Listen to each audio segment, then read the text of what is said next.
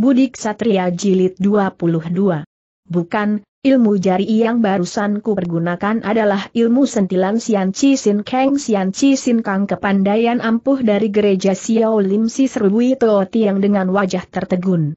Benar, ilmu sentilan Sian Chi Sin Kang dari partai Xiao Lim Tooti yang segera anggukan kepalanya berulang kali, pujinya, selama beberapa ratus tahun belakangan ini, Xiao Tai Hiap boleh dibilang merupakan manusia paling aneh di kolong langit, satu orang menguasai ilmu silat dua aliran sudah luar biasa sekali, tetapi engkau sekaligus menguasai ilmu silat dari beberapa perguruan. Peristiwa ini jarang sekali terjadi dalam dunia persilatan, dia menengadah memandang bintang yang bertaburan di angkasa, kemudian sambungnya lebih jauh, kecuali seorang manusia sakti seperti Xiao Tai Hiap siapa lagi yang mampu melawan Senbok Hang Tooti yang terlalu memuji ujar Xiao Ling sambil menghela napas ringan.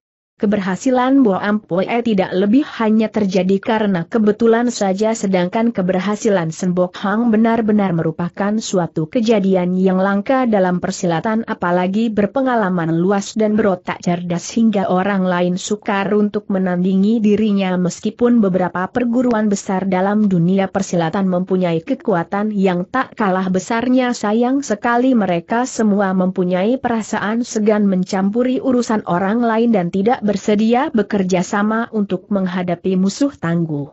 Dewasa ini hanya partai Butong yang mengerahkan segenap kekuatannya untuk bertempur melawan perkampungan Pek Hoa Sancung setelah penyelidikanku ke basis kekuatan pihak perkampungan Pek Hoa Sancung di kota Tiang Sah ini terasa olehku bahwa Senbok Hang benar-benar merupakan seorang musuh yang sukar dihadapi masa depan kita betul-betul masih terhalang oleh semak berduri yang lebat, setelah berhenti sebentar, sambungnya lebih jauh, kali ini Senbok Hang bersedia melepaskan rencana besarnya untuk pergi menjumpai seorang sahabat karibnya, ditinjau dari sikapnya yang terburu-buru dapat diketahui bahwa orang itu pastilah bukan seorang manusia sembarang. Mungkin kita bakal bertambah dengan seorang musuh tangguh lagi, Dewasa ini orang yang paling disegani dan ditakuti oleh Senbok Hang hanya Engka Xiao Tai Hiap seorang dan sekarang ia mengerahkan segenap kekuatannya untuk melakukan penyerbuan. Tujuannya tidak lain adalah untuk menghadapi diri Xiao Tai Hiap seorang, karena itu aku serta San Put Sialo Poe telah berjanji untuk selanjutnya mengerahkan segenap kemampuan yang kita miliki untuk melindungi keselamatanmu, Xiao Ling segera tersenyum dan menukas, aku merasa terharu dan berterima kasih sekali atas jerih payah serta kesediaan dari Lo Poe berdua, cuma mengenai kata melindungi, aku benar-benar tak berani untuk menerimanya. Kalau aku orang Xiao tidak bersedia menempuh bahaya, kenapa orang lain harus menempuh bahaya bagi diriku dan Senbok Hang sendiri walaupun ia punya hasrat yang besar untuk melenyapkan diriku, tetapi asal aku bisa berhati dalam menghadapi setiap persoalan, rasanya untuk menyelamatkan diri bukanlah suatu pekerjaan yang terlalu menyulitkan, Bui Tooti yang menghela napas panjang, selanya, apa yang Pinto serta San Lo Poe harapkan adalah semoga Xiao Tai Hiap suka menjaga diri baik demi keamanan umat persilatan di kolong langit, Senbok Hang paling benci kepadamu dan dia paling takut pula menghadapi dirimu, dia pasti akan mengerahkan segenap kemampuan yang dimilikinya untuk menghadapi dirimu. Bahkan cara yang digunakan pasti amat keji dan menggunakan segala cara rendah apa pun, oleh sebab itu engkau harus berhati sekali menghadapi mereka. Kami bukannya takut ilmu silat yang dimiliki Senbok Hang dapat menangkan dirimu dan mencabut jiwamu. Yang kami khawatirkan adalah dia mencelakai dirimu dengan cara licik dan terkutuk, sebab serangan macam itulah paling susah dihindari, tentang soal ini aku akan mengingatnya selalu di dalam hati, ujar Xiao Ling sambil tertawa ewa. Sesudah memandang cuaca ujarnya kembali, Toh Tiang untuk menghadapi orang-orang dari perkampungan Pek Hoa Chung. Rasanya kita tak usah membicarakan tentang peraturan bulim lagi. Bukan kalau kita tak bisa menggunakan siasat racun lawan racun maka pihak kita lah yang bakal menderita kerugian besar. Kalau memang Toh Tiang merasa bahwa care ini pantas malam ini juga kita dapat mulai turun tangan, setelah berhenti sebentar tanyanya, berapa orang murid Toh Tiang yang sekarang masih tertinggal di dalam gedung ini Bui Toh Tiang termenung dan berpikir sebentar kemudian jawabnya. Kurang lebih ada 12 orang dan berapa orang di antara mereka yang memiliki ilmu silat sangat lihai serta pengalaman paling luas boleh dibilang ada lima orang, kalau begitu bersama Toh Tiang, aku, Tukiu serta Pek Klipeng semuanya berjumlah sembilan orang, Rasanya jumlah itu sudah cukup. Apa maksud Xiao Tai Hiap aku ingin turun tangan untuk melenyapkan kekuatan yang ditinggalkan Senbok Hang di kota Tiang Sah ini serta melenyapkan markas besar matanya, dahulu kita selalu dikuasai orang lain dan semua gerak-gerik kita diawasi orang, maka sekarang kita harus merebut posisi yang baik dan berbalik menghadapi mereka lebih dahulu. Bui Tooti yang termenung dan berpikir sebentar, kemudian tanyanya. Kita akan berangkat sekarang juga aku rasa makin cepat semakin baik-baik, Pintu akan segera memilih orang imam tua itu segera loncat turun dari atas bubungan rumah. Xiao Ling mengikuti loncat turun pula ke atas tanah, baru saja berdiri tegak, Pek Li Peng telah memburu ke depan sambil berseru Toako, apakah Xiao Ya Ucu berhasil melarikan diri? Dia berhasil kabur setelah berhenti sebentar, lanjutnya lebih jauh, Pengji, siapkan senjata tajam dan senjata rahasiamu. Malam ini aku akan mengajak engkau berkunjung ke suatu tempat dan di situ engkau dapat membuka pantangan membunuhmu sampai puas kita akan pergi ke mana? Tanya Klipeng dengan hati kegirangan. Ke tempat yang telah kukunjungi pagi tadi apakah Xiao Te juga boleh ikut? Tanya Tukiu sambil maju menghampiri. Kalian semua boleh ikut sementara pembicaraan masih berlangsung, Bui Tiang dengan membawa lima orang pria berpakaian ringkas telah munculkan diri di sana. Rupanya untuk menghindarkan diri dari pengawasan mati musuh, semua anak murid Partai Butong telah berubah dandanan dan menyaru jadi pria kekar. Kelima orang itu mengenakan pakaian ringkas warna hitam dan menyoren sebilah pedang di atas punggungnya.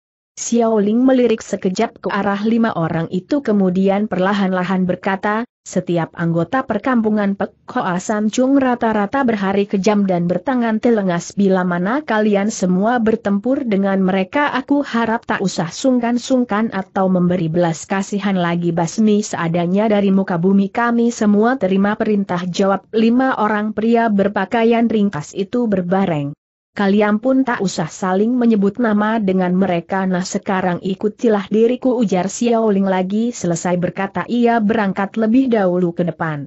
Pek Klipeng dan Tu Kiu menyusut di belakangnya, sedangkan Bui Teo Tiang dan kelima orang murid partai Butong lainnya menyusul di paling belakang. Xiao Ling sudah hafal dengan jalan yang harus dilaluinya, Sepanjang perjalanan ia bergerak cepat sekali dan langsung meluncur ke arah gubuk tanah pertanian yang dihuni oleh Chiu Chao Liong sekalian. Tidak selang setengah jam kemudian tanah pertanian tersebut sudah nampak di depan mata.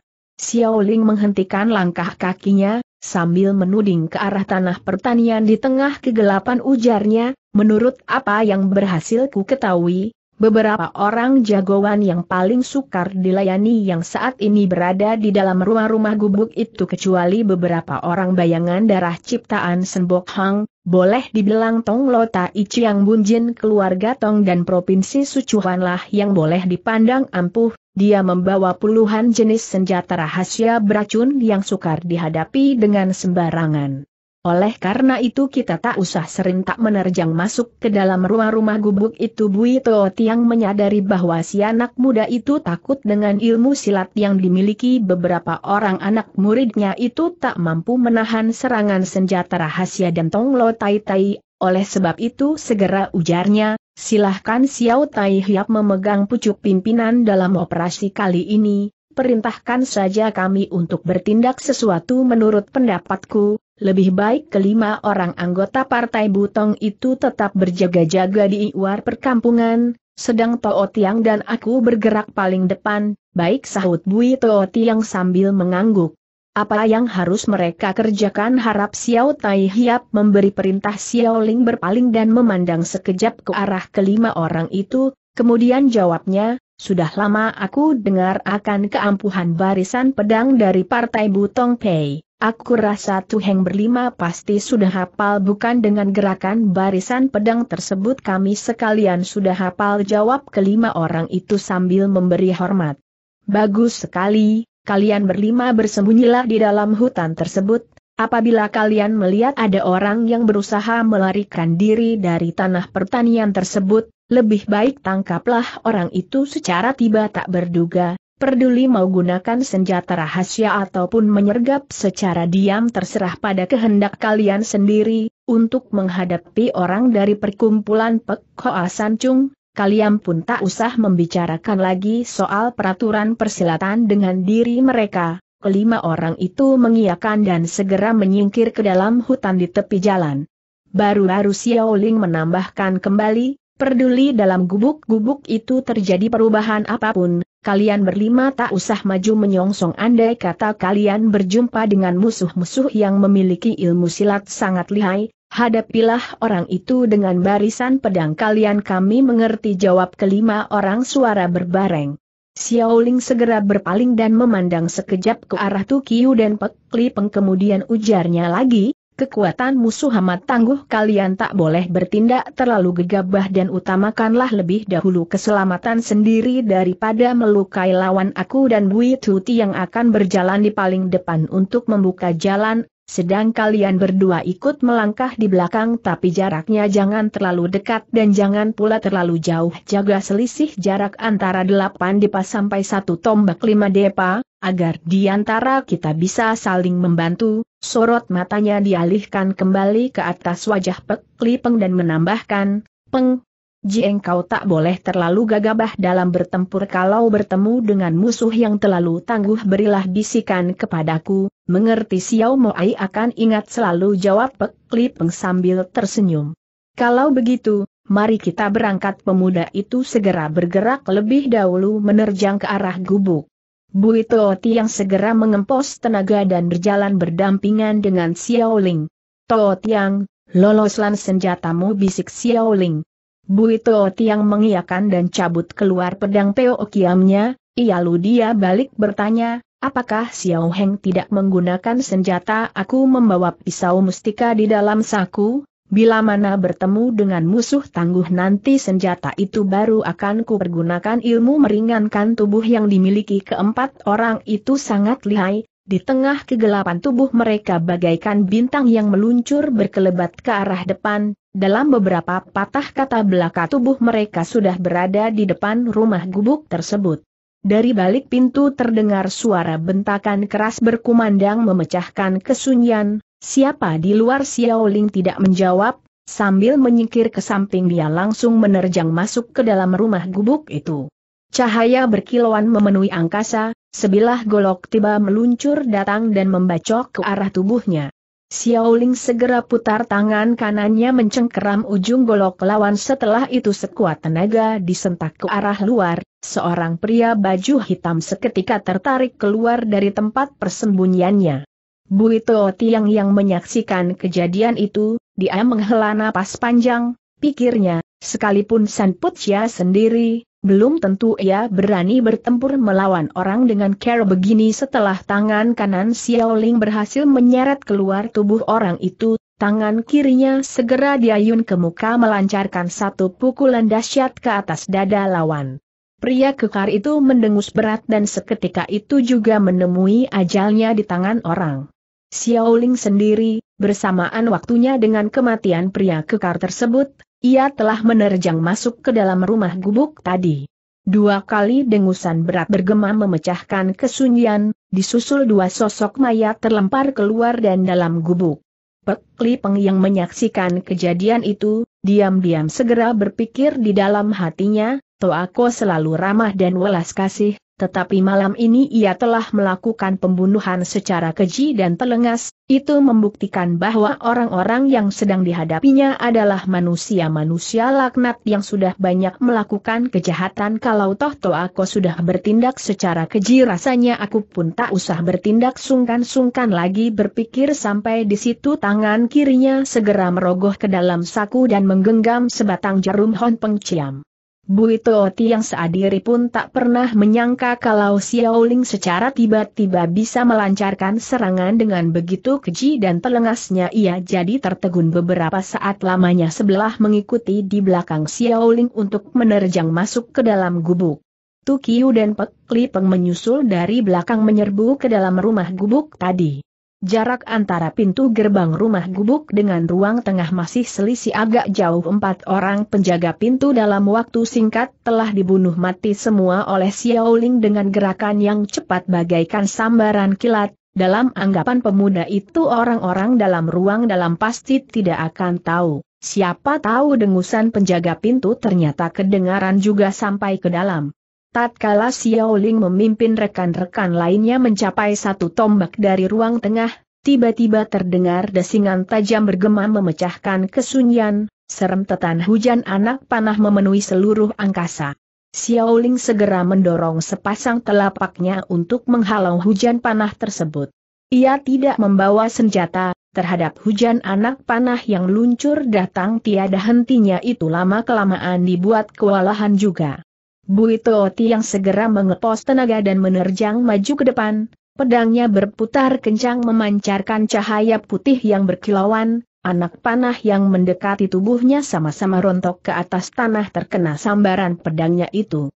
Ciang Bunjin dari perguruan besar ini rupanya sudah dibangkitkan semangatnya oleh permainan telapak Xiao Ling yang begitu cepatnya itu, pedang bagaikan pelangi berkelebat mengitari seluruh badan melindungi Xiao Ling dan diri sendiri dari serangan panah, ketika berhasil mendekati pintu ruangan, pedangnya segera membacok pintu hingga terbuka. Gerakan tubuh Xiao Ling cepat sekali, menggunakan kesempatan di kala Bui Tuti yang membacok pintu ia sudah menerobos masuk ke dalam ruang tengah. Sepasang telapaknya bekerja cepat, kembali dua orang musuh berhasil dibacok sampai mati. Bui Tooti yang segera menyusul ke dalam pedangnya berputar ke kiri dan ke kanan, dua orang pria dilukai pula pada ujung pedangnya. Sementara itu, Pek Lipeng dan Tukiu telah ikut menerjang masuk ke dalam ruangan. Pek Lipeng segera putar pedangnya bagaikan titiran angin kencang, mengikuti gerakan dari Bui Tootiang, gadis ini pus berhasil melukai dua orang musuh. Dalam ruang tengah rumah gubuk itu sebenarnya dijaga oleh sepuluh orang jago pemanah jitu, ilmu silat yang mereka miliki kendati pun sangat lihai, tetapi untuk menghadapi serbuan dari empat orang jago lihai yang sudah diliputi oleh nafsu membunuh itu tentu saja masih bukan tandingannya, dalam waktu singkat ke sepuluh orang itu sudah terkapar semua di atas tanah, dua orang yang belum mati pun sudah menderita luka dalam yang sangat parah. Xiao Ling masih tetap berjalan paling depan, tangan kanannya diayun menghantam dinding tembok. Blaam debu dan pasir berguguran ke atas tanah, muncullah sebuah lubang besar di atas dinding tadi. Dalam hati kecilnya dia masih ingat dengan jelas letak ruang rahasia yang dipergunakan Chiu Chao Liong untuk melakukan perundingan dengan para jagonya, dia berharap dalam sekali gebrakan berhasil menerjang masuk ke dalam ruang rahasia tersebut dan menawan Chiu Chao Liong, atau paling sedikit ia harus berhasil membinasakan beberapa orang bayangan darah ciptaan dari Senbok Hang, oleh karena itu pemuda tersebut ingin membongkar dinding untuk menerjang masuk ke dalam. Baru saja Xiao Ling berhasil membobolkan dinding tembok tersebut, tiba-tiba, terdengar suara bentakan gusar berkumandang datang, Siapa di situ cahaya api memancar keempat penjuru dan muncullah sebuah obor menerangi sekeliling tempat itu. Xiao Ling segera alihkan sorot matanya ke arah depan, tampaklah orang-orang yang barusan munculkan diri adalah Chiu Chao Liong di belakangnya berdiri empat orang pria berbaju merah membahu di sisi kirinya adalah Tong Lotai sedang di sebelah kanannya adalah Tan Hiong Chiang. Seorang pria lain sambil membawa obor berdiri kurang lebih tiga depa di depan Chiu Chao Liong. Pakaian yang dikenakan beberapa orang itu amat rapi, Agaknya belum tertidur semua. Xiao Ling dapat melihat keadaan dari Chiu Chao Liong sekalian sedangkan Chiu Chao Liong juga dapat melihat Xiao Ling dengan dandanan serta pakaian yang tak ada ubahnya seperti siang hari tadi hal ini membuat kepala kampung kedua dari perkampungan Pek Hoa Sancung jadi tertegun. Tan Hian Tit, sebenarnya apa yang telah terjadi tegurnya. Tan Hang Chiang sama sekali tak menyangka kalau Xiao Ling berani menyerbu ke situ dengan membawa orangnya, bahkan masih memakai baju yang dikenakan pada siang harinya, kejadian itu membuat hatinya tak tenang. Apalagi sekarang setelah ditegur oleh Chiu Chao Liong, dia semakin merasa gelisah dan tidak tenteram.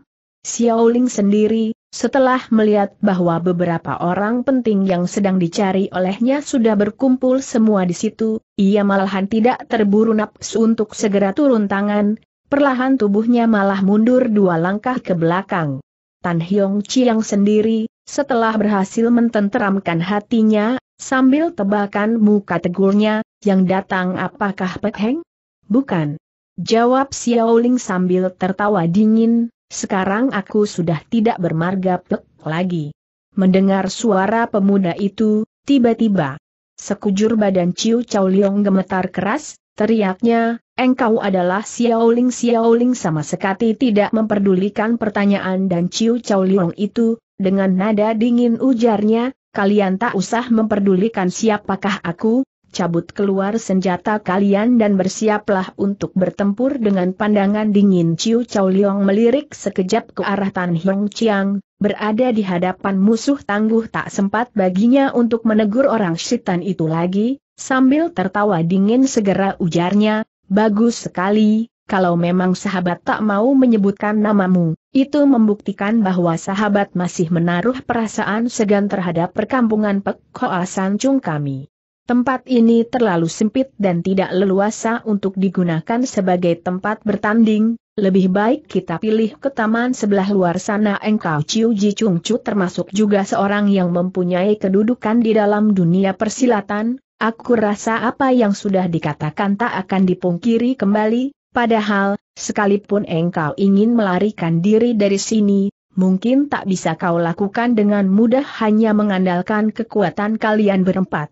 Ejek Chiu Chao Liong sambil tertawa sinis, apakah ucapanmu itu tidak terlalu tekebur dengan pandangan tajam Xiao Ling mengawasi wajah Chiu Chao Liong, kemudian perlahan-lahan mundur ke belakang.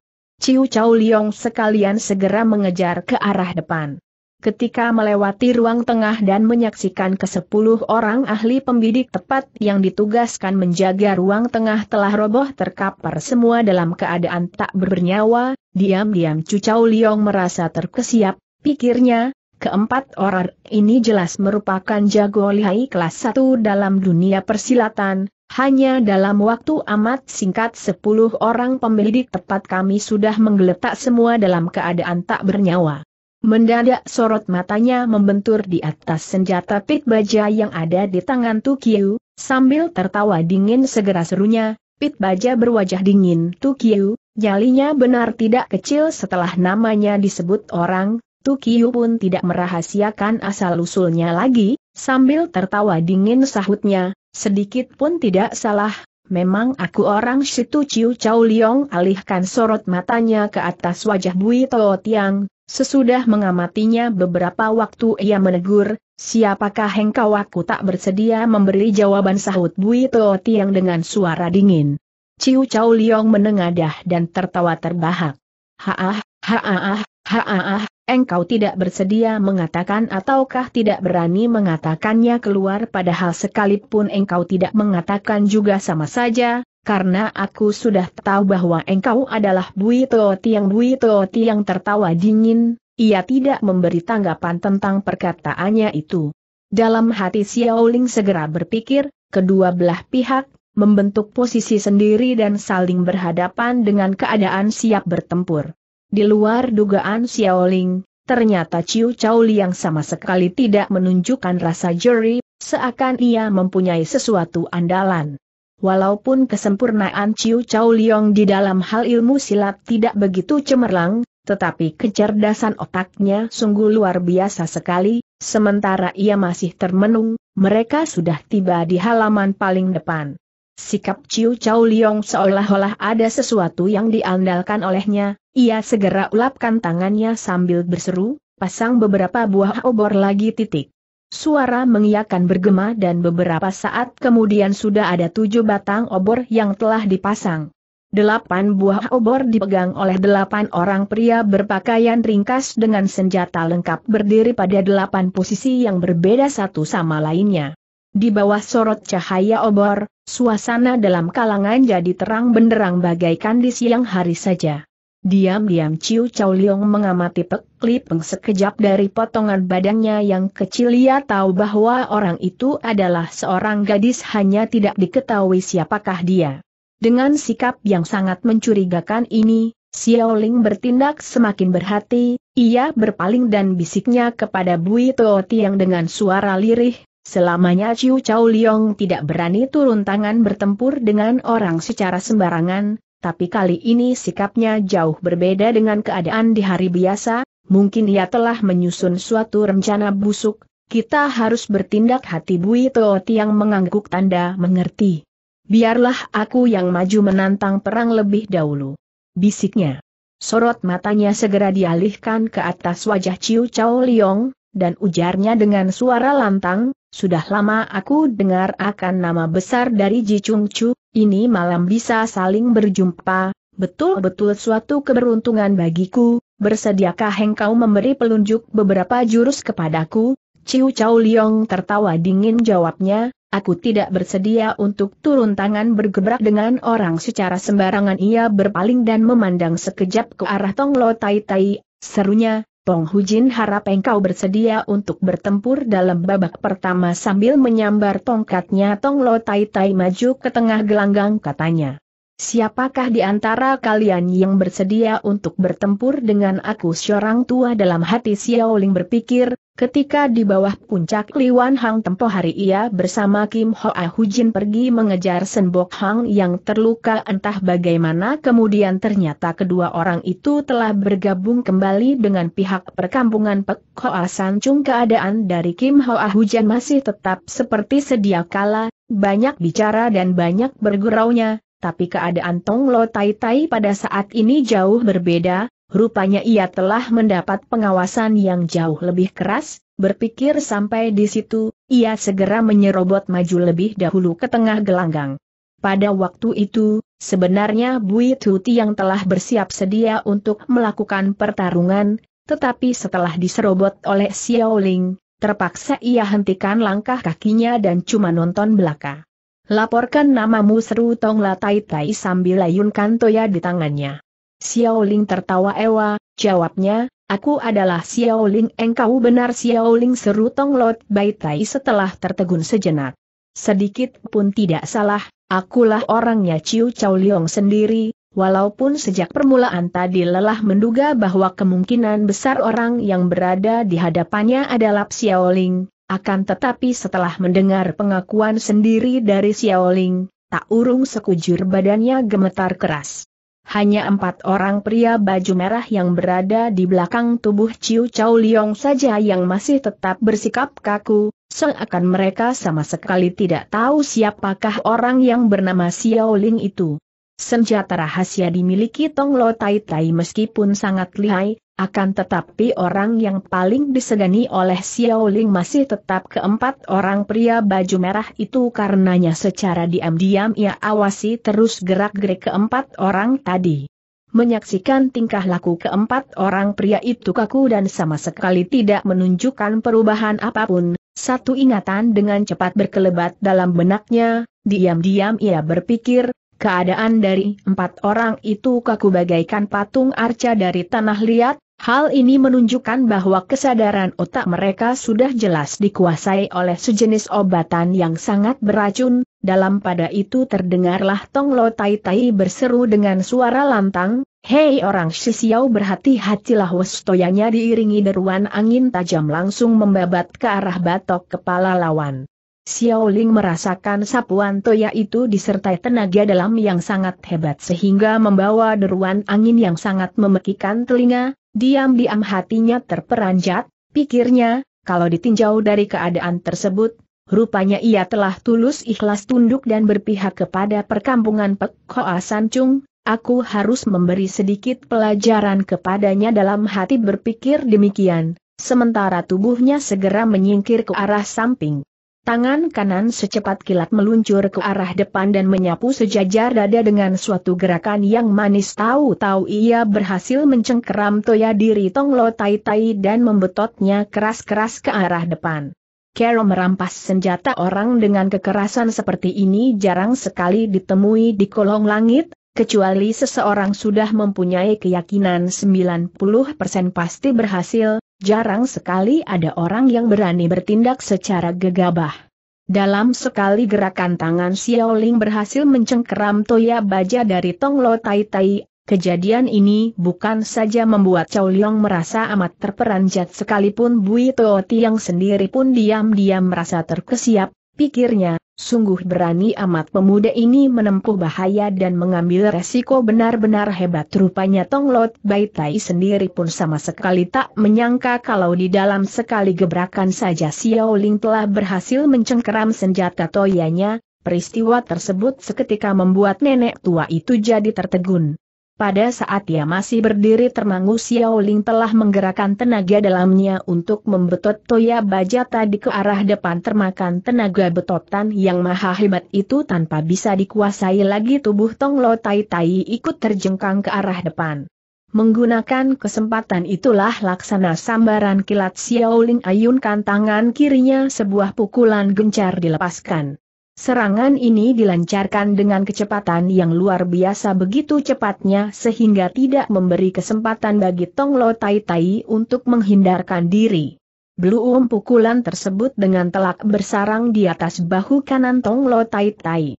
Mengingat hubungan persahabatan yang pernah terjadi di antara mereka, serangan yang dilancarkan Xiao Ling ini tidak terlalu berat, berbicara sampai tenaga dalam yang dimiliki Tong Lo Tai Tai Seharusnya pukulan itu tak akan sampai melukai dirinya terdengar Tong Lo Tai Tai mendengus berat kemudian badannya roboh terjengkang ke belakang, senjata Toya yang berada dalam genggaman pun segera terlepas dari cekalannya. Dengan cepat Xiao Ling merampas Toya tersebut, di samping itu dia pun menyadari bahwa Tong Lo Tai Tai ada maksud mengalah kepadanya, tetapi berhubung dalam hati mempunyai kesulitan yang amat besar maka nenek itu tak berani berbicara ataupun menyapa dirinya. Oleh sebab itulah, setelah berhasil merebut senjata Toya tadi, pemuda itu membentak keras, Toyanya langsung diputar menerjang ke arah Chiu Chao Liong. Selama ini yang sangat menguatirkan perasaan hati Xiao Ling adalah berpuluh-puluh macam senjata rahasia beracun dari Tong Lo Tai Tai yang sangat lihai itu, ia khawatir kalau Pek Lipeng dan Bui Tuti yang sekalian terluka di ujung senjata tersebut. Sekarang, setelah melihat nenek tua itu menggeletak di atas tanah dan senjata toyanya terlepas dari cekalan, rasa khawatir yang mencekam hatinya pun seketika lenyap tak berbekas dan semangat jantannya berkobar kembali. Mimpi pun Chiu Chao Liong tak pernah menyangka kalau Tong Lo Tai Tai sebagai seorang ketua dari suatu perguruan besar yang amat tersohor di Provinsi Sichuan, ternyata kena dirobohkan oleh Xiao Ling dalam satu gebrakan belaka, dalam hati ia merasa curiga bercampur takut. Tapi ingatan tersebut berkelebat dalam waktu yang amat singkat, sebab ketika itulah Xiao Ling sambil putar toyangnya telah menerjang maju ke arah depan. Ciu Chao Liong menyadari bahwa kepandaian silat yang dimiliki masih bukan tandingan dari Xiao Ling, sambil mengundurkan diri untuk menghindar, dengan cepat ia memberi tanda kepada empat orang pria baju merah yang berada di belakang tubuhnya untuk bersama mengepung pemuda si Xiao tersebut. Xiao Ling tidak berani memandang enteng keempat orang pria baja merah yang kaku bagaikan patung itu, Hawa murninya segera dihimpun dan ia segera hentikan gerakan tubuhnya yang sedang menerjang ke muka, Toya diangkat siap melancarkan serangan. Ciu Chao Liong teriak Bui Tiang dengan gusar, apakah pihak perkampungan Pek Choa Sancung kalian peduli di mana selalu mengandalkan jumlah yang banyak untuk merebut kemenangan? Toa ko teriak Pek Li Peng pula, biarkan ku bantu dirimu untuk menghadapi kurcaci-kurcaci tersebut sambil membawa pedangnya menerjang maju ke depan. Beberapa patah kata itu diucapkan dengan suara amat nyaring dan jelas menunjukkan sebagai suara seorang wanita. Rupanya karena gelisah dan cemas, gadis itu telah lupa untuk mempergunakan nada prianya untuk berbicara, Xiao Ling segera menengadahkan ke atas dan tertawa terbahak-bahak. Haaah, haaah, haaah, Pengji, ayo cepat mundur ke belakang, aku tidak membutuhkan bantuanmu sahutnya. Dalam pada itu Pek Li Peng telah berada di hadapan keempat orang pria baju merah itu dan siap melancarkan serangan, mendengar sahutan dari Xiao Ling tadi terpaksa ia tarik kembali serangannya sambil mundurkan diri ke belakang. Toako, jadi engkau tidak membutuhkan bantuanku katanya. Tak usah. Kata Xiao Ling sambil mengempos tenaga bersiap sedia, keempat orang ini kalau dikatakan sebagai manusia, Sebenarnya kita menilai mereka terlalu tinggi, kalau bukan manusia, lantas mereka itu? Bayangan darah hasil ciptaan dari Senbok Hang? Apa sih yang disebut sebagai bayangan darah itu? Bayangan darah adalah, adalah, adalah sejenis manusia yang dipengaruhi oleh obatan sambung Bui Toh Tiang dari samping, setelah mendapatkan suatu latihan yang keras dan sadis maka terciptalah bayangan darah yang sama sekali tidak punya otak, Bui Tiang sendiri pun tidak memahami apakah bayangan darah itu, akan tetapi berhubung ia lihat Xiao Ling tak mampu memberikan jawabannya maka ia menyambut dengan sekenanya. Tiba, terdengar empat buah suara pekikan aneh berkumandang memecahkan kesunyian yang mencekam di malam buta itu, begitu seram suara pekikan tersebut hingga kedengarannya mengerikan sekali. Pek Li Peng masih ingin bertanya lebih jauh, tetapi karena takut pertanyaan yang akan membuyarkan konsentrasi Xiaoling, ia tak berani banyak bicara lagi. Dalam pada itu, setelah keempat orang pria baju merah tadi memperdengarkan pekikan yang mengerikan itu, mereka mulai mengerahkan keempat anggota tubuhnya.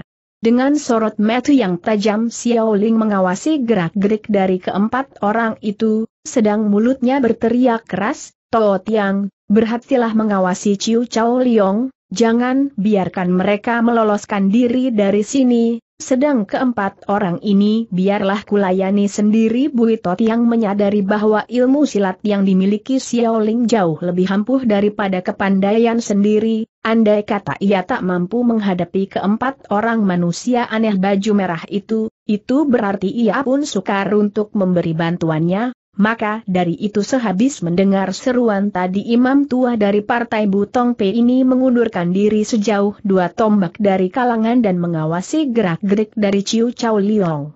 Sementara itu gerakan tangan dan kaki dari keempat orang pria baju merah itu kian lama kian bertambah cepat, ia tahu bahwa keempat orang itu segera akan melancarkan serangan, dalam hati segera pikirnya. Aku toh mempunyai hasrat untuk melenyapkan keempat orang itu dari muka bumi kenapa aku mesti menunggu sampai mereka melancarkan serangan lebih dahulu. Berpikir sampai di sini diam-diam hawa murninya disalurkan ke dalam telapak, dengan ilmu jari Siu Elo Osincinya tangan kanan dia Yun mengirim segulung angin desiran tajam ke arah seorang pria baju merah yang berdiri di arah barat daya. Segulung desiran angin tajam dengan telak menghajar kaki kiri pria baju merah itu terlihatlah pria aneh tadi tergetar mundur sejauh 4-5 langkah ke belakang sebelum berhasil berdiri tegak. Jelas serangan yang dilancarkan oleh pemuda itu cukup berat dan dahsyat akibatnya. Yang aneh, ternyata di atas wajah pria baju merah itu sama sekali tidak memperlihatkan rasa kesakitan atau menderita akibat tersebut, seakan-akan kaki kirinya sama sekali tak ada hubungan dengan tubuh bagian lainnya. Tergetar hati Xiao Ling karena terperanjat, diam-diam ia berpikir, sekalipun Senbok Hang sendiri yang terkena serangan jariku itu, dia pasti tak akan mampu mempertahankan diri, tapi pria tersebut sama sekali tidak menunjukkan rasa kesakitan ataupun menderita, entah ilmu silat apakah yang telah dilatih oleh mereka? Sebelum ia sempat putar toyanya untuk melakukan penyerangan, tiba-tiba terdengar ujung baju tersampok angin disusul berkelebatnya bayangan merah, dua orang pria aneh baju merah itu satu dari kiri yang lain dari kanan bersama-sama menerjang maju ke depan. Xiao Ling segera putar toya di tangannya, dengan jurus Heng San Chian Kim atau menyapu rata selaksa prajurit ia serang pria baju merah yang menyerang datang dari arah barat laut, sedang tangan kirinya melancarkan pukulan udara kosong menghantam pria baju merah yang menyerbu datang dari tenggara. Rupanya keempat orang pria baju merah itu masing telah berdiri pada posisi yang berbeda sehingga tanpa disadari telah mengepung Xiao Ling rapat. Cuma ada satu hal yang aneh, yakni posisi yang ditempati keempat orang pria baju merah itu bukannya timur, barat, utara atau selatan, tetapi tempat kedudukan mereka justru adalah Tenggara, Timur Laut, Barat Laut, serta Barat Daya, suatu posisi membujur miring. Baru saja pria aneh yang menerjang datang dari arah tenggara mencapai jarak lima dipa di hadapannya, angin pukulan yang dilepaskan Xiao Ling tahu sudah meluncur datang.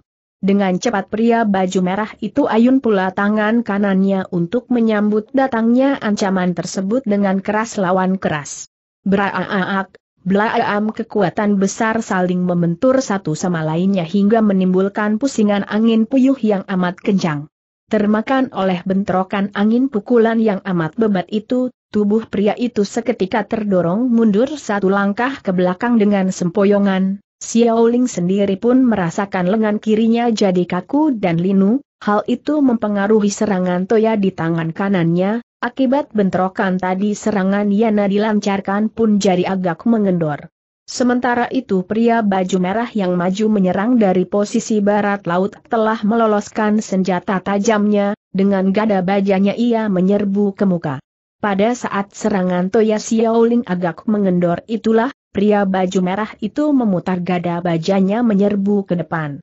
Traang, terjadi bentrokan kekerasan yang memekikan telinga, Termakan tangkisan gada pendek tersebut, senjata Toya dalam genggaman Xiao Ling tersapu miring ke samping. Empat pria baju merah itu pada saat yang bersamaan, dengan gerakan tubuh yang cepat bagaikan sambaran kilat menerjang maju ke depan mengurung Xiao Ling.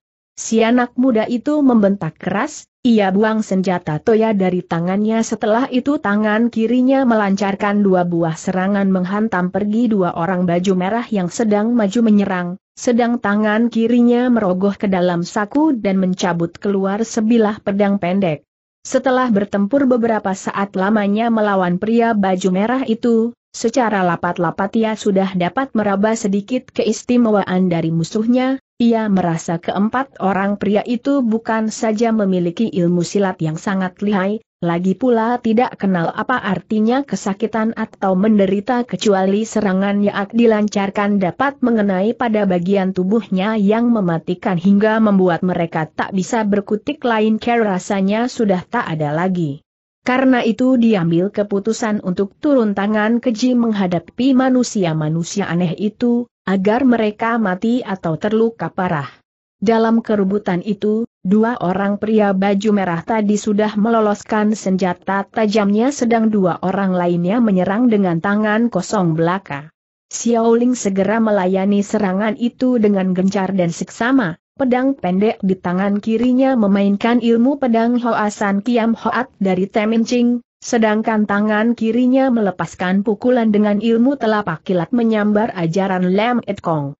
Sepasang tangan melancarkan serangan dengan dua jenis kepandaian yang berbeda, kehebatannya benar luar biasa sekali. Terlihatlah angin pukulan menduru, cahaya pedang amat menyilaukan mata. Seluruh serangan yang dilancarkan keempat orang baju merah itu telah dikuasai oleh Xiao Ling di tengah berlangsungnya pertarungan amat seru itu, tiba terdengar Xiao Ling membentak keras, kena cahaya darah menyembur keempat penjuru, pria baju merah yang bersenjatakan gada baja itu terlepas lengan kanannya oleh babatan lawan, senjata dalam cekatannya terpental sejauh 6-7 dipa dan darah segar bagaikan hujan gerimis mengucur keluar membasahi seluruh permukaan tanah.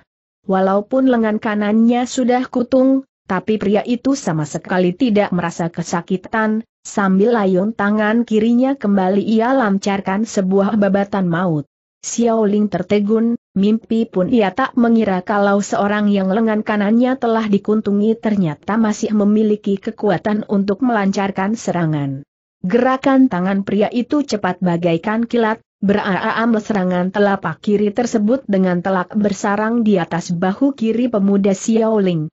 Selama beberapa hari ini Xiao Ling berlatih tekun siang maupun malam, tenaga dalamnya memperoleh kemajuan yang amat pesat, Hawa KHI Kang pelindung badan pun mendapat pula kemajuan yang amat cepat, ketika pukulan yang dilancarkan pria baju merah itu bersarang di atas bahu Xiaoling, tubuh pria itu malahan tergetar mundur sendiri sejauh dua langkah. Walaupun begitu Xiao Ling sendiri pun merasakan darah dalam rongga dadanya bergerak amat keras.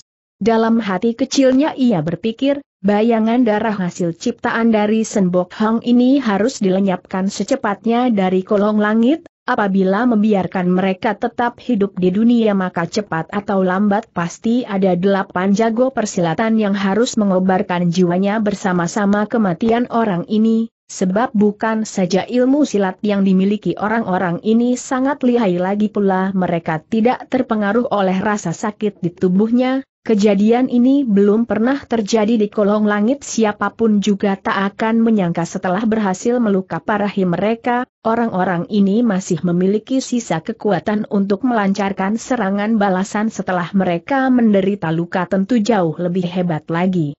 Kalau orang-orang persilatan itu tidak memiliki hawa hiekeng pelindung badan seperti yang kumiliki bukankah serangan berikutnya yang dilepaskan secara mendadak dapat melukai dirinya hingga mampus? Aku harus lenyapkan mereka untuk menolong jiwa sesama rekan persilatan, otaknya berputar kencang sementara serangan telapak dan pedangnya sama sekali tidak berhenti, ia masih tetap melakukan pertarungan sengit melawan beberapa orang pria baju merah itu, dan kini setelah mengambil keputusan maka nafsu membunuh pun dengan cepat menyelimuti seluruh wajahnya, serangan mematikan dilancarkan secara bertubi. Situasi pertarungan antara Xiao Ling dengan keempat orang pria baju merah itu meski berlangsung tegang, tetapi Bui Teo Tiang dan Chiu Chao Leong yang menonton jalannya pertarungan dari sisi kalangan merasa jauh lebih tegang daripada Xiao Ling sendiri. Ketika Bui Teo Tiang menyaksikan pria baju merah itu setelah kehilangan sebuah lengannya ternyata masih punya kemampuan untuk melancarkan serangan balasan, seakan lengan yang kutung itu sama sekali tak ada sangkut paut dengan dirinya, dalam hati merasa amat terperanjat, pikirnya di hati, luar biasa mengerikannya orang ini, Entah ilmu silat apakah yang mereka miliki Chiu Chao Liong sendiri telah menyaksikan jalannya pertarungan antara Xiao Ling melawan keempat orang pria baju merah itu, perasaan batinnya mulai tak tenang, ia berpikir, rupanya silat yang dimiliki Xiao Ling telah memperoleh kemajuan yang amat pesat. Begitu pesat dan cepatnya hingga hampir boleh dibilang melampaui keadaan pada umumnya, Blue Uum seorang pria baju merah terhantam dadanya oleh sebuah pukulan Xiaoling hingga menimbulkan benturan keras. Dalam serangannya itu Xiaoling telah mempergunakan tenaga dalam sebesar delapan bagian hingga mengetarkan jantung orang itu, terlihatlah pria baju merah itu mundur ke belakang dengan sempoyongan, setelah muntah darah segar badannya roboh terjungkal ke atas tanah. Xiao Ling berkelebat berulang kali ke kiri maupun ke kanan untuk menghindarkan diri dari sergapan dua orang pria baju merah lainnya, sambil putar badan pedangnya berkelebat melancarkan satu serangan dengan jurus Tiatsuke Hoa atau pohon besi mulai berbunga, pedangnya langsung menusuk tenggorokan pria tersebut. Ia tahu bahwa pria baju merah ini tidak takut akan rasa sakit, hanya serangan yang mengena pada tempat kematian saja yang bisa melenyapkan daya tahan mereka. Berhubung darah yang mengalir dari kutungan lengan pria baju merah tadi terlalu banyak, gerakan tubuhnya sudah tidak selincah semula lagi, sekarang termakan pula oleh tusukan pedang Xiaoling yang ditujukan ke arah tenggorokannya, ia semakin tak tahan lagi, Tubuhnya roboh terkapar ke atas dengan darah mengalir keluar dari mulut lukanya sesudah berkelit sebentar putuslah jiwa Ria. Setelah berhasil melukai dua orang baju merah, semangat Xiaoling semakin berkobar pedang pendeknya berputar kencang melukai kembali seorang pria baju merah pada saat yang bersamaan tangan kirinya melepaskan ilmu sentilan Sian Chi Sin Kang, Segulung desiran angin tajam meluncur ke muka menghajar metu kanan pria baju merah yang lain. Pemuda itu sadar walaupun dua orang pria baju merah itu sudah terkena serangannya namun daya tempur mereka sama sekali belum lenyap, Karena itu setelah melepaskan serangan yang pertama, menggunakan kesempatan itu ia menerjang ke depan dan melancarkan pula empat buah serangan berantai lainnya. Keempat buah serangan tersebut semuanya merupakan jurus sampuh di dalam rangkaian ilmu pedang dari Tan Ing Ching, tak bisa dihindari lagi kedua orang pria tersebut termakan tusukan pedang pada bagian mematikannya dan roboh binasa semua. Ciu Chao Liong jadi terkejut bercampur ketakutan setelah menyaksikan empat orang bayangan darah hasil ciptaan dari Sen Bok Hang yang paling diandalkan itu sudah roboh binasa semua di tangan Xiao Ling. Tiba ia putar badan dan melarikan diri. Terdengar Bui Tooti yang tertawa dingin, serunya, Ji Chung Chu, apakah engkau hendak melarikan diri sambil putar pedang dia hadang jalan pergi dari Ciu Chao Liong, seret. Tan Hiong Chiang mencabut keluar pedangnya, sambil keraskan hati ia berseru, ayo minggir dan beri jalan Pek Lipeng segera berkelebat maju ke depan, ujarnya, bangsat, engkau tidak pantas untuk bertempur melawan Bui Toh Tiang Koma Seret sebuah tusukan kilat segera dilepaskan ke depan. Tan Hiong Chiang dengan cepat putar pedang menangkis datangnya ancaman dari Pek Lipeng, setelah itu sambil putar pedang ia balas mengirim satu serangan.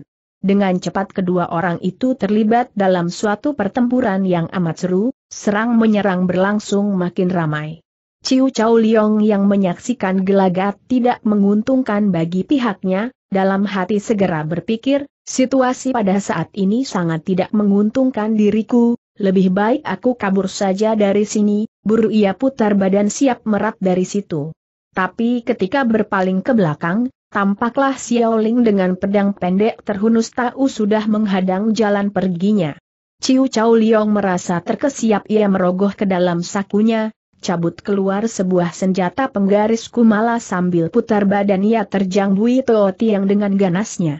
Senjata penggaris kumala berputar dia langsung membacok ke bawah.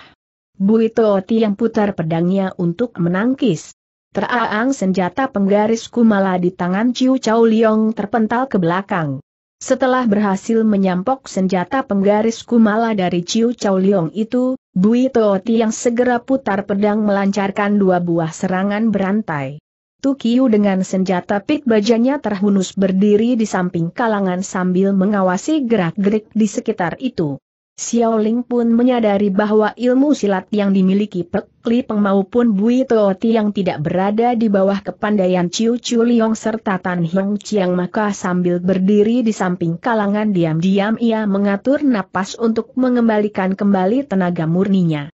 Ternyata, setelah berhasil membinasakan keempat pria baju merah itu, pemuda tersebut merasa lelah sekali. Buito Tiang yang terlibat dalam pertempuran sengit melawan Chiu Chao Liong melayani serangan-serangan musuhnya dengan ilmu Tai Kek Kiam, cahaya pedang berkilauan memenuhi angkasa, di tengah kekerasan terselip kelembutan membuat tubuh Ji Chung Cuk ketua dari perkampungan Pek Hoa San Chung ini terkepung di dalam lingkaran cahaya pedang.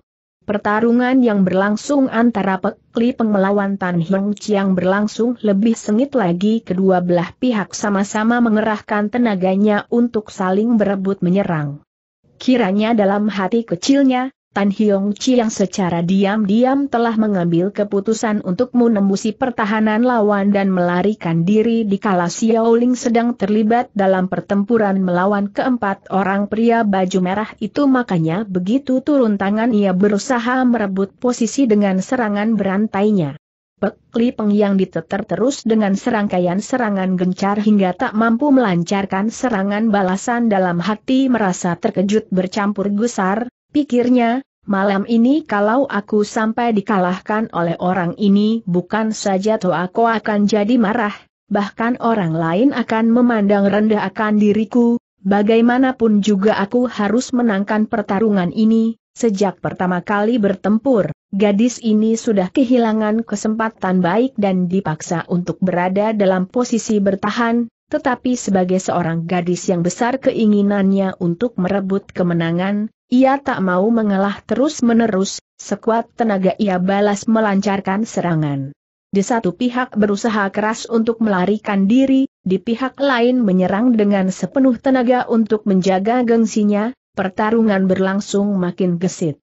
Di tengah berlangsungnya pertempuran yang amat seru itu, tiba-tiba terdengar jeritan ngeri yang menyayat hati berkumandang memecah kesunyian, sebuah tusukan kilat yang dilancarkan Pek Klipeng dengan tepat berhasil menembusi dada Tan Hiong Chiang, membuat anak murid dari Sen Bok Hang itu menemui ajalnya seketika itu juga.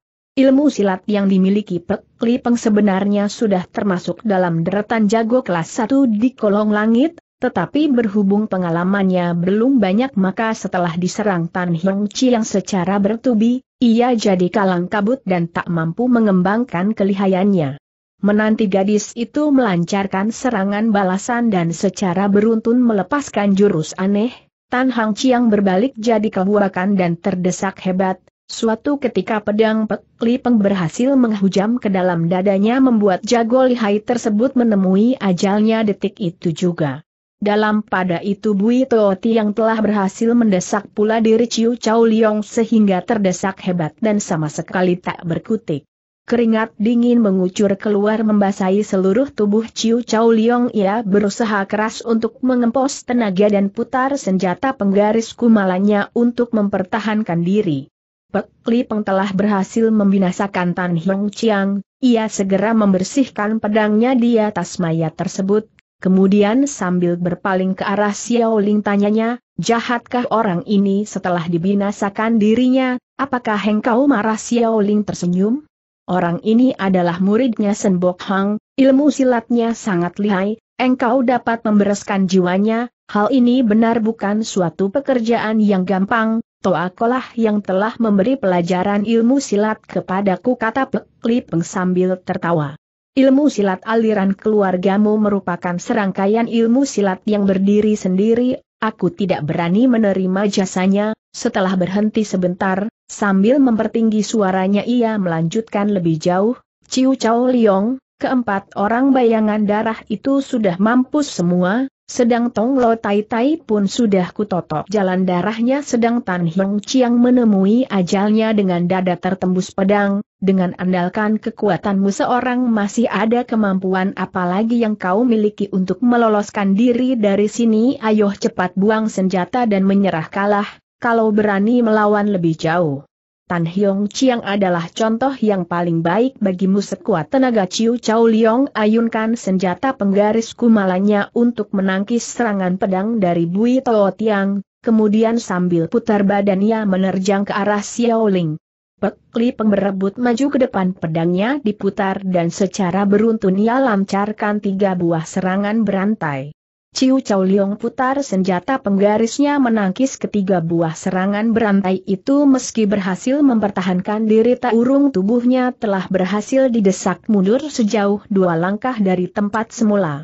Pengji bisik Xiao Ling dengan suara rendah, hentikan seranganmu, rupanya dia ada perkataan yang hendak disampaikan kepadaku.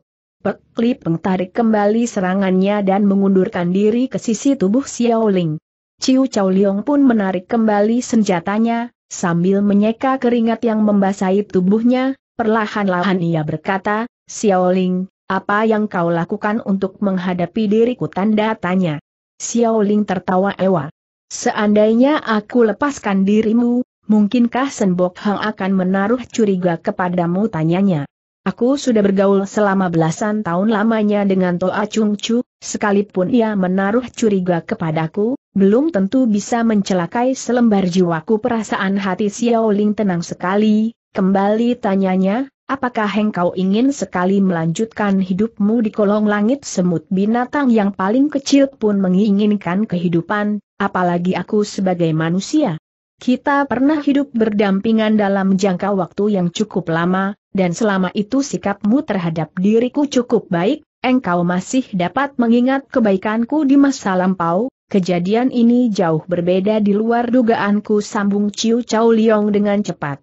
Tetapi, walaupun sikapmu terhadap diriku sangat baik, hal itu dikarenakan engkau mempunyai maksud tertentu, kalau dibicarakan sesungguhnya kebaikan hatimu itu bukan muncul karena hati yang tulus dan ikhlas, sekarang mati hidup tergantung pada keputusanmu sendiri aku harap kau dapat memilih yang tepat, Ciu Chao Liong tertawa dingin. Hek ah, hek ah, hek ah, engkau suruh aku menerjang keluar dari kepungan ejeknya. Xiao Ling segera menggeleng.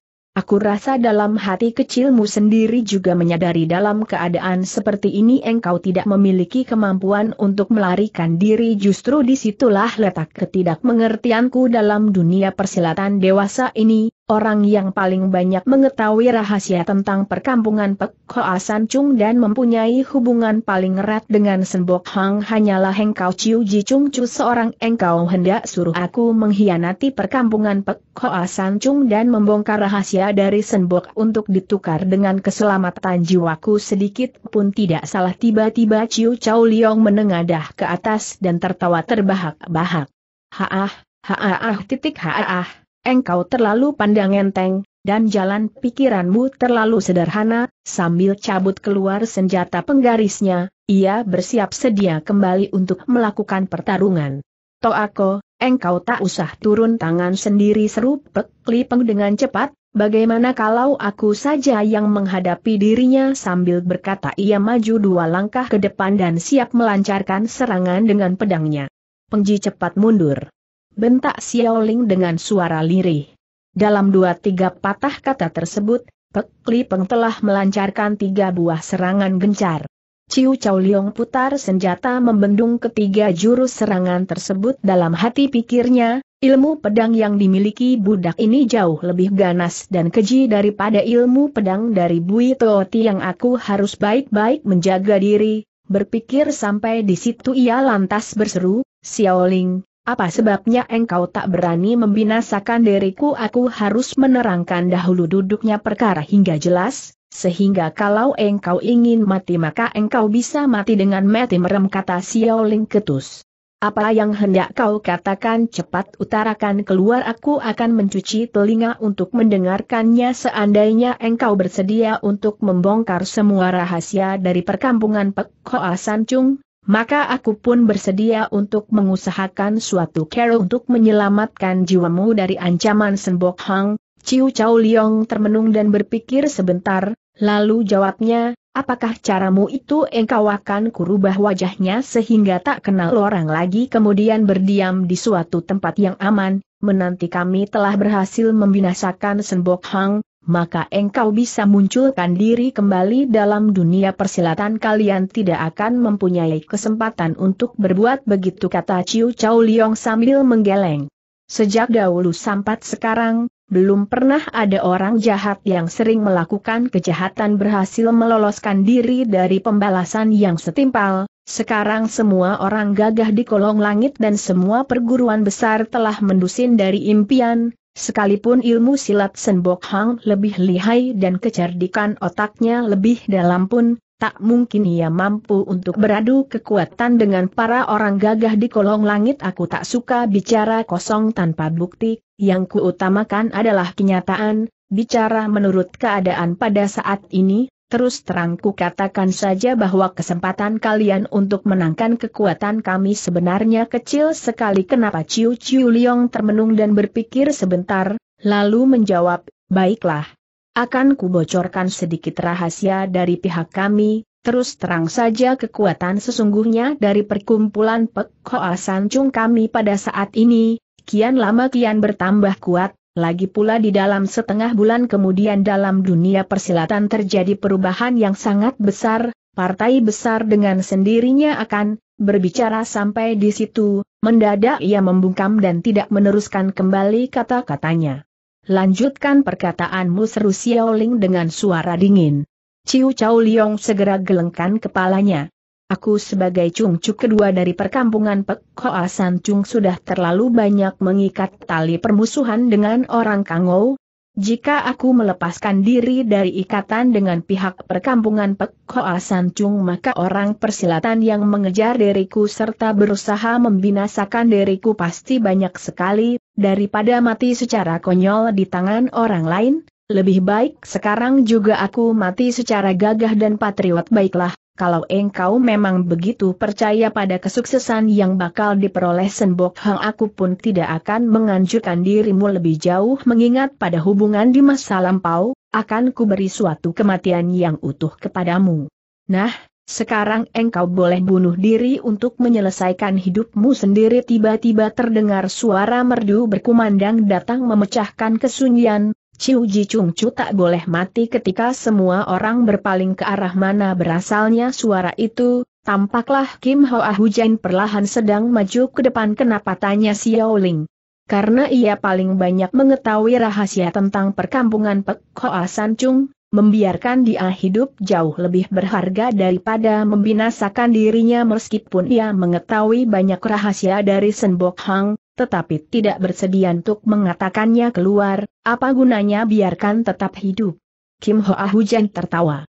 Kalau engkau mengajukan pertanyaan dengan care begini, tentu saja ia tidak bersedia untuk mengatakannya, sambil membereskan rambutnya yang terurai, sambungnya lebih jauh, Aku sudah pernah menyaksikan Ciu Ji Chung Chu menyiksa musuhnya, cara yang ia pergunakan sangat tepat dan luar biasa sekali, aku rasa kalau kita gunakan cara yang sama pula untuk mengorek keterangan dari mulutnya cara itu paling tepat sekali apakah ia mengorek keterangan dengan cara menyiksa lawannya secara keji sedikit pun tidak salah. Demikian keji dan telengas cara yang dipergunakan sehingga membuat orang yang menyaksikan jadi bergidik dan bulu romanya pada bangun berdiri secara tiba ia melancarkan serangan menotok dua buah jalan darah di tubuh Chiu Chao Liong, kemudian melanjutkan, kita tak boleh membiarkan dia mati apa yang harus kita lakukan pada saat ini kalau kita ajukan pertanyaan di tempat ini, Sekalipun engkau menggunakan care penyiksaan yang bagaimana keji pun tak mungkin ia bersedia untuk mengucapkan sepatah kata pun, seakan telah menyadari akan sesuatu. Xiao Ling segera mengangguk.